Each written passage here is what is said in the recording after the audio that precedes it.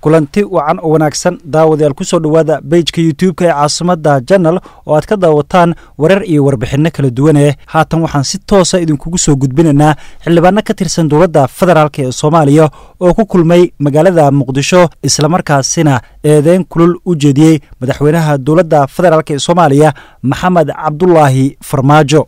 Xildhibaanadan uu gaarayay ku dhowaad soddon ayaa waxay sheegeen in madaxweyne farmaajo uu faragelin toosa ku hayo dhowaan doorasho la filayo inay ka dhacdo magaalada baydhabo. Haddaba xildhibaanada oo kulmay islamarkaasina soo bandhigay arrimo badan oo ka dhan ah madaxweynaha dowladda federaalk soomaaliya maxamed cabdulaahi farmaajo oo xili ay markaasi la hadlayeen warbaahinta waxa ay ku bilaabeen shirkoodii jaraa'id. Ujeedka ay isugu yimaadeen oo deg dega ah waxaa sababay waad la socotaan maalmahan waxaa lagu ballansan yahay in toddobiyo tobanka nofembar ay doorasho ka dhacdo koonfur galbeed. Haddii ilaahay yidhaahdo waxaan ujeeddada aan isugu imaanay ayaa waxaan rabnaa shacabka soomaaliyeed iyo beesha caalamka iyo dhammaan xildhibaanada saaxiibadeenna ah ee labada aqal inaan runtii aan u sheegno dhibaatooyinka aan aragnay ee ka soo koonfur galbeed laga samaynayo inaan dadka soomaaliyeed ku markhaati gelinno oon u sheegno. Sidaad la socotaan dowladda federaalka oo madaxweyne maxamed cabdulaahi farmaajo uu madaxweyne ka yahay waxay faragelin qaawan ku haysaa maamulka koonfur galbeed oo ay doorasho ka socoto. Runtii faragelintaas xildhibaanadii iga horreeyay saaxiibaday hore u sheegeen waxa ugu horreeya waxay tahay in musharaxiintii koonfur galbeed qaarkood loo diiday inay is-sharaxaan iyagoo ah muwaadiniin xaqna u lah xaqna u leh inay madaxweyne ka noqdaan ama xil ka qabtaan in la doorto inay wax doortaan iyagoo xaq u leh in laga hor istaagay loo diiday inay musharax noqdaan.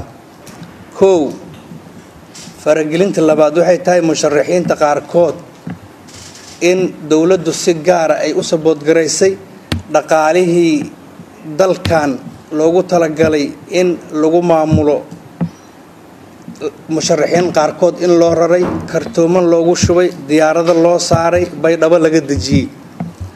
Sidoo kale baabuurta xabadda aan karin ayaa laga dejiyey baydhabo aada ogtihiin qiimaha ay ku fadhiyaan iyo lacagta ay leeyihiin lacagta laga bixinayo baabuurtaas. Diyaaradaha lagu qaaday lacagta lagu kareeyey iskusoo duuduub waxaa lagu qiyaasay baabuurta iyo diyaaradaha lacagtooda. Laba dhibic siddeed milyana lagu qiyaasay lacagaha loo raray dhowr iyo toban milyana lagu qiyaasay. Runtii lacagahaas waxaa u baahan maanta ummadda soomaaliyeed miisaaniyadda dowladda kuma jirto in musharaxa la saboodgareeyo intaasoo lacagna la siiya lacagtaas meesha laga keena horta in la waa waxa ugu horeyso waxaan kaloo idiin sheegayaa madaxweyne maxamed cabdulaahi farmaajo iyo tiimkiisa ayaa ka fog musuq maasuq horta maanta idinka harto haddaad maqli jirteen madaxweyne farmaajo musuq maasuq ma sameeyo. Waxaan idiin xaqiijinaynaa madaxweynihii inuu lacagihii qaranka oo u isticmaalay musuq maasuq dhanka doorashooyinka koonfur galbeed. Sidoo kale faragelinta qaawan oo madaxweyne maxamed cabdulaahi farmaajo ku haya koonfur galbeed waxay ku keeni doontaa in xilkiisa dib u egis lagu sameeyo kadibna uu xilkiisa ku waayo asaga. Maxaa yeelay qaladaad badan oo horey u galay darteeda iyo midkan hadda koonfur galbeed uu ka wado xildhibaanadu waxay ku khasbi doontaa in dib u eegis ay ku sameeyaan xilka iyo waajibaadka madaxweyne maxamed cabdulaahi farmaajo kadibna cod loo qaado oo xilkiisana uu ku waayo. Marka waxaan leeyahay ka waantoogo faragelinta uu ku hayo dhammaan maamulada dalka gaar ahaan maamulka koonfur galbeed. Laga soo doorto koonfur galbeed oo runtii doonaya in ay fikirkooda iyo codkooda ku cabiraan xaaladda dalku marayo gaar ahaan deegaan doorashada koonfur galbeed ee laga soo doortay. Waxaan la soconnaa dhammaanteen in koonfur galbeed soddon iyo toddobiyo tobanka novembar ay ka dhici doonto doorashadii madaxweynaha. Waxaan aragnay oo aan markhaati ka noqonnay in dowladdii federaalka soomaaliya ay musharaxiintii u tartamayey xilka madaxweynenimo. Ay kala taageerayso taas oo cadaalad darro ah sharci darro ah aan la dul qaadan karin. Marka waxaa labada aqal ee caawa halkan xildhibaanadooda fadhiyaan waxaan cambaaraynaynaa falkaas resourcekii dalka loogu maaragtay loogu kambeyn garaynayo ama loogu exanayo musharaxiin gooni ah raalli kama nihin sax ma aha. Waxaa xaqiiqo ah in muwaadin kasta oo reer koonfur galbeed ah uu isu soo taagi karayo xilka madaxweynenimo ee koonfur galbeed. Laakiin waxaa reeban in xoolihii dalka jamhuuriyadda federaalk soomaaliya dhaqaalaheedii iyo awooddeedii in cid gooniya iyo dad gooniya maaragtay lagu taageero. Taa waxaa weeyaan aaway isla xisaabtankii aaway transparencygii dowladdu sheeganaysay aaway maaragtay sinaantii aaway maxaa keenay in murashaxiinta qaarra la yidhahdo isma sharaxi kartaan. Qaarra baabuur burufiya loo raro. Taas marka waxaa weeyaan waa dowladda waa ku cambaaraynaynaa cod dheer iyo cod gaabanba waxaan ugu sheegaynaa. Waad khaldanteena ka soo noqdaan leenahay. Ciddii is-sharaxayso waxay u taallaa baarlamanka koonfur galbeed ciddii ay doortaan. Ayaa dalkaas madaxweyne ka noqonaya. Ee lacag halkan diyaarado lagaga raray maaragtay waxba kama bedelayso. Waxaa kale oo jirta oo runtii aan aan in dib loo eego u baahan taariikhda dalkan federalismkiisa uu soo maray iyo federal unitskiisa maanta dhammaystiran iyo shanta maamul goboleed ka kooban halkan iyo somalilan oo wadahadal lagula jiro. Intaba waxaa weeyaan waa taariikh ninkaan ogeyn dee waa duminaya dhibka loo soo maray. Dhaqaalaa ku baxay waqti baa ku baxay energy baa ku baxay naf bay qaarkood ku baxday. Marka waxaan leenahay mudane madaxweyne adiga oo maaragtay ninkii u sarreeyay jamhuuriyadda federaalka soomaaliya ah ha duminin federalism federaalka federal unitska soomaaliya dhib badan baa loo soo maray. Horay uga sii wad ee dib ha u celinin ayaan maaragtay leenahay. Waxaa kaloo oo jirta oo oo dhibaato iyada naftirkeeda indhaha laga qarsan karin ah.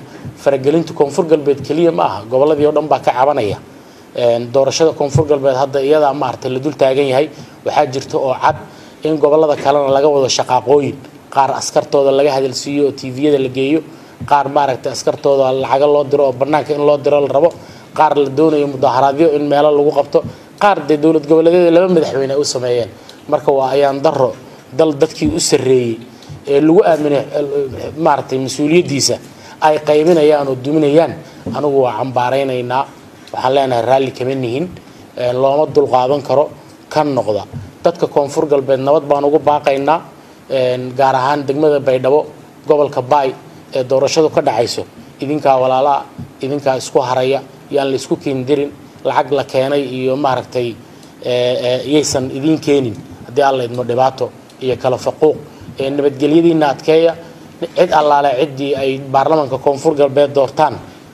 Ama musharaxay dowladdu taageerayso ha noqdo ama ku kala ha noqdee murashaxaasna in lala shaqeeyo ku khasban yahay laakiin marka hore waa hal xalaal liidig xalaala ma dhasho inaysan noqoninoo uu noqdo qofku qof maaragtay daahir ah oo clean ah oo aan xoolihii jamhuuriyadda federaalk soomaaliya loogu kaambeyn garaynin.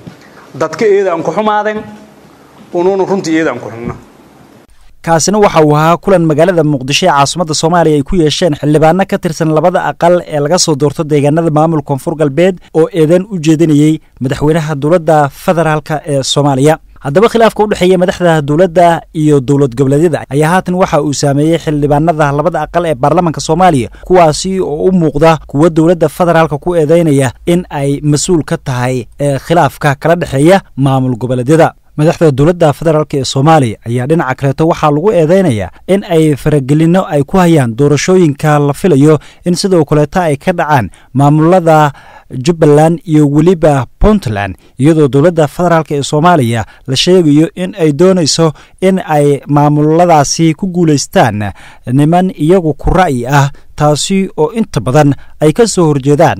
Qaar ka mid a xildhibaanada iyo siyaasiyiinta iyo weliba mas'uuliyiinta madaxda maamul goboleedyada oo iyagu xiriirkii u jiray dowladda federaalka ee soomaaliya.